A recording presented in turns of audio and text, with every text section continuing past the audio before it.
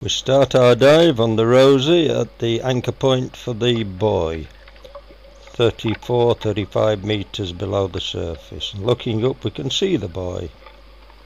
The buoy is on the seaward side of the wreck, and as we move into the rear of the wheelhouse,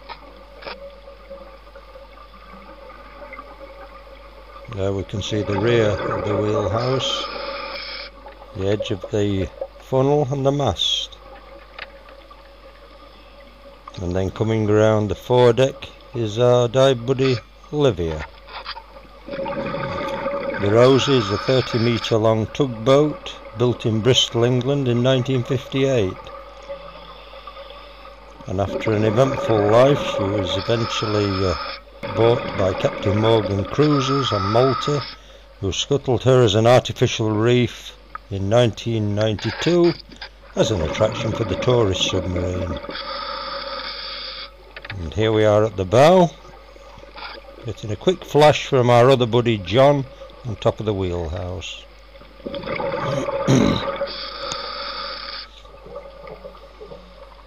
Usual entry point to get to the wreck is adjacent to the lighthouse at the remains of the old metal pier which is now collapsed into the water.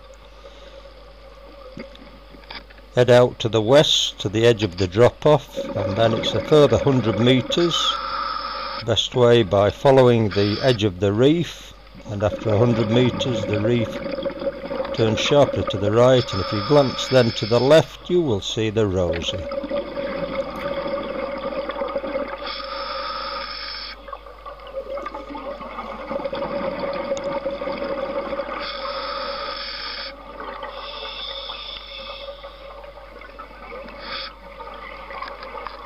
And here is John adjacent to the wheelhouse and in fact moving into the wheelhouse itself.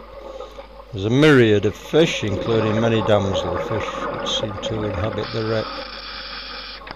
This is a favourite place for tourists to pose and have the photos taken.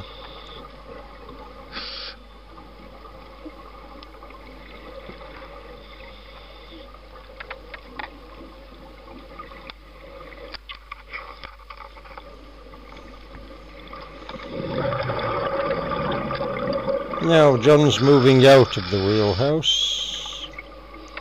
Oh, he, he seems to think he's mountaineering. You're supposed to swim, John. Ah, he's going onto the roof of the wheelhouse to torment or play with the fish.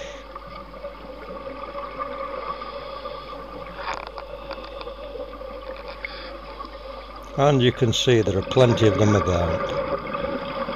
Very tame, well used to divers.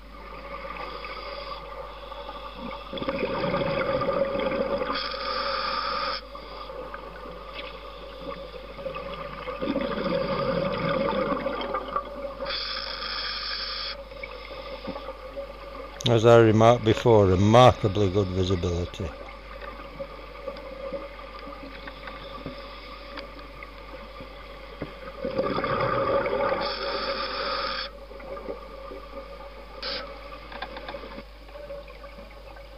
And here we are at the back of the funnel and the mast, moving along to the stern of the vessel.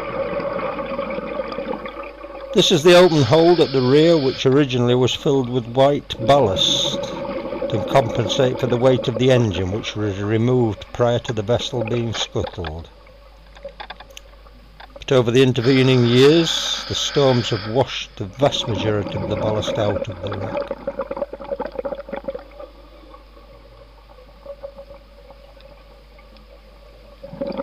It can be interesting to descend into the hold here and look in the various pipes or the ends of the pipes as occasionally moray eels make their homes in them.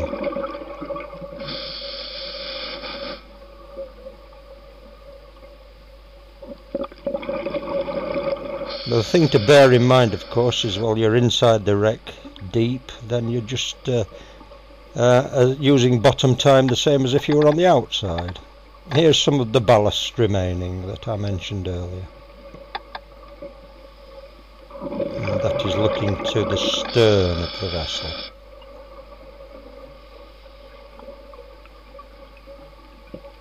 The rudder is still in place, the propeller long gone. And off the stern of the there is the propeller, uh, the rudder rather. And off the stern of the vessel is the engine cover.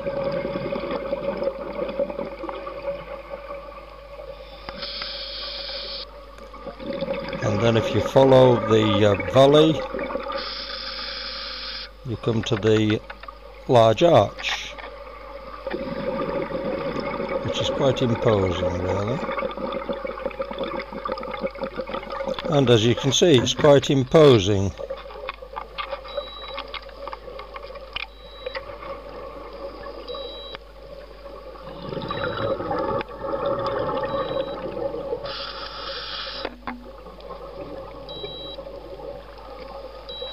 This white cable is a, or it was white at one time, is a good marker to and from the valley leading um, to the Rozi.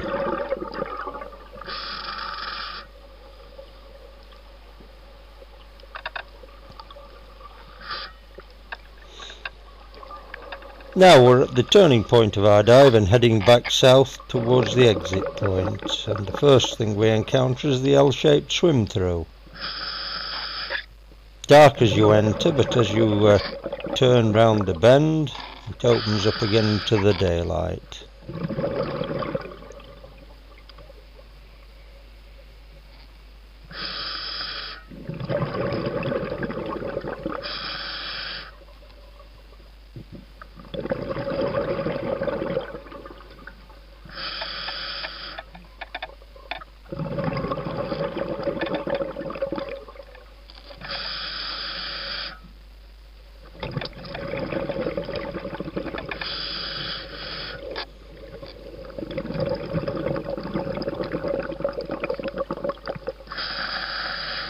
And as we look back, that is where we have exited the L-shaped swim through.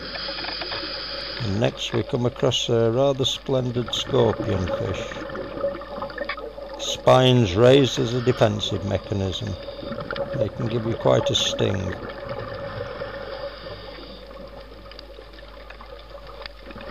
And here is the sea urchin leading on next to the ubiquitous jellyfish, whose tentacles I've been stung by on several occasions now. Obviously not the same one, of course.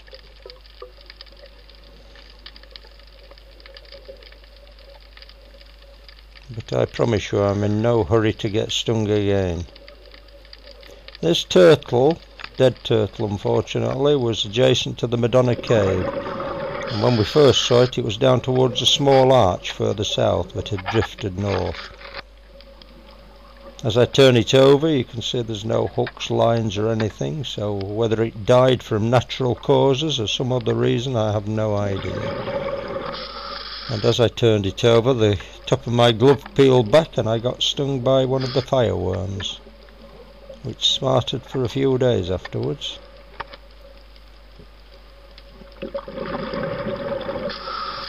Very sad. Just wish I could have shown you a live specimen instead.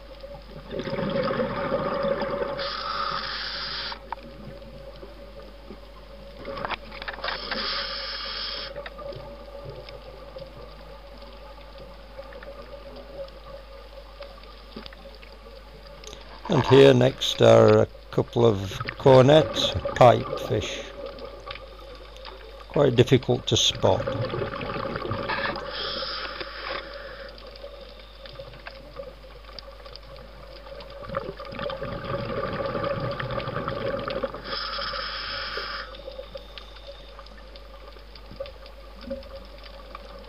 And then we raise, rise up into the Madonna Cave. Statue of the Madonna being placed here more than 20 years ago now by Amphibians Dive Club. Quite a bit more than 20 years ago, I'm, I'm not sure of the exact date.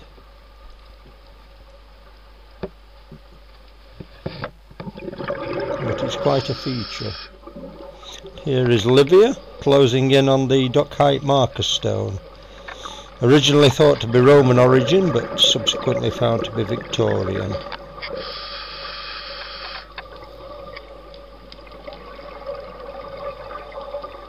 And as you can see it has the Roman numerals 13 and 14 clearly engraved on it.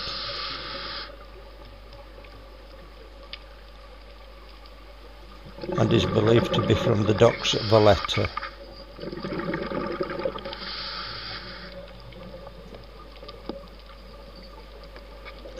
It's at the bottom of the drop-off leading to the training area.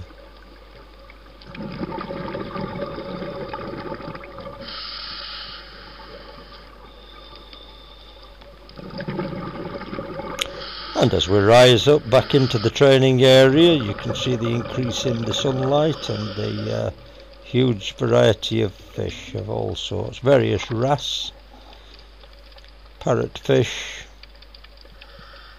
and many others whose names I've forgotten.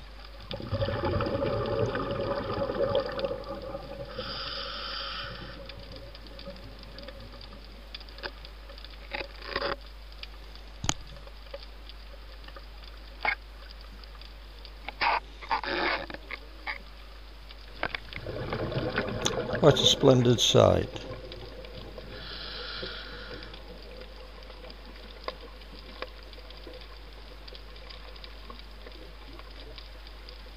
And here, looking like a giant caterpillar, is the fireworm. Very graceful, but it has quite a sting. And last but not least, this moray eel, adjacent to the exit point.